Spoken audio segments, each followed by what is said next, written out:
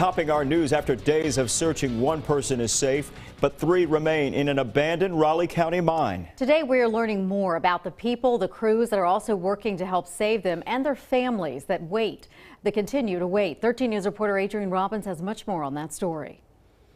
There's so many dangers in an old, especially in old abandoned coal mines. There's water, there's bad air, and the list goes on and on. Greg Scarborough spent 30 years in the mines, but this week he's been stuck on the outside, waiting. I'm here for several reasons. One is my grandson is one of the the boy that's underground still.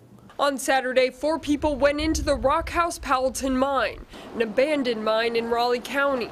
Today, three remain after Eddie Williams emerged unharmed on Monday night. I just didn't know what to think. I couldn't believe she went in there. I mean, it's just mind-boggling, you know. Uh, I just know how dangerous it is. Kayla Williams, Erica Treadway, and Greg's grandson Cody Beverly are still unaccounted for, though, after days of searching. There's not a lot we can do. All we can do is try to stay together. Our total dependency is upon MSHA and the mine rescue teams. Those teams plan to continue the search on Wednesday. They've got a protocol to go by to keep the rescuers that's going in safe. And all we're thinking about is getting our kids out of there.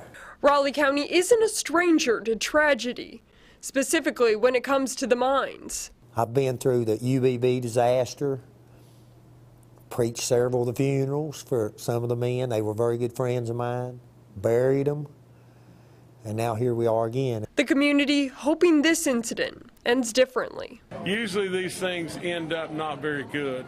And so we still got some real heavy lifting to get to a good outcome here. I love him dearly. And my hope and prayer is that I'm going to get a hug him here soon. Reporting in Clear Creek, I'm Adrienne Robbins, 13 News, working for you. Again, that search will continue tomorrow. The National Guard plans to bring in 18 additional soldiers and six Humvees to assist.